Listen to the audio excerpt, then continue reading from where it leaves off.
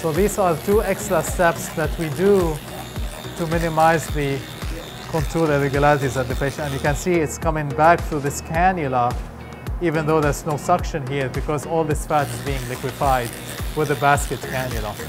So that does two things. One, it decreases contour irregularities. The second thing that it does, it kind of stimulates collagen production on the inner aspect of the skin, and hopefully that will cause some sort of skin retraction.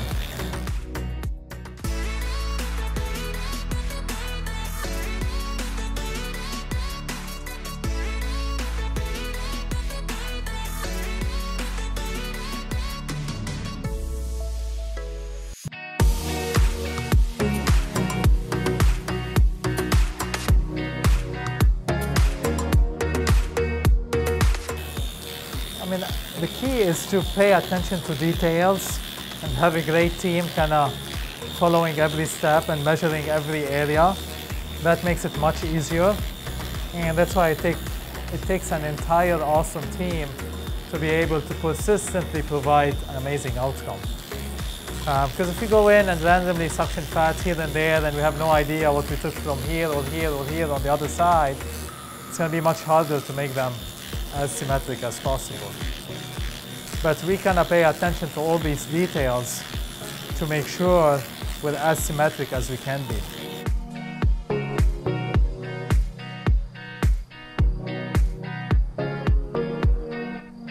These are the different cannulas that we use. And for every area, we use a different one. Uh, we got like a couple basket cannulas, couple of four where the hole on the, is on the inside, smaller ones, and the ones that are extremely small, kind of for the wrist area. On our patient here, we're mainly using these three here, and she's doing good. Now I'm gonna go to the knee and I'm gonna switch into this one.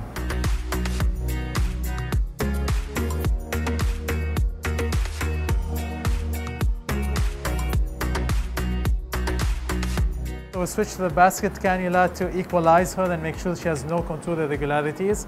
And this is the last step that we have here before we flip her and start the front part. We already took out 1.4 liters of lipedema fat on each side, and this is total 2.8. Now we're gonna flip her and take from the front 2.2, kind of 1.1 on each side. And that will get her the maximal benefit from this procedure.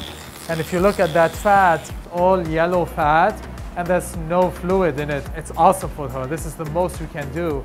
Hopefully the fat on the front will be like that, and that will be awesome. So we just finished liposuction to the posterior thighs. We took 1.4 liters on each side. And I want to show you how awesome our patient is looking. So if you want to take a look over here, she's nice and smooth. And take a look at her outer knee area. We kind of narrowed all the way down to skin only. This is that knee joint. Look how nice and smooth that area is. We also did the inner knee. Again, down to skin only here. Also nice and smooth. We kind of equalized all this fat and liposuction this area.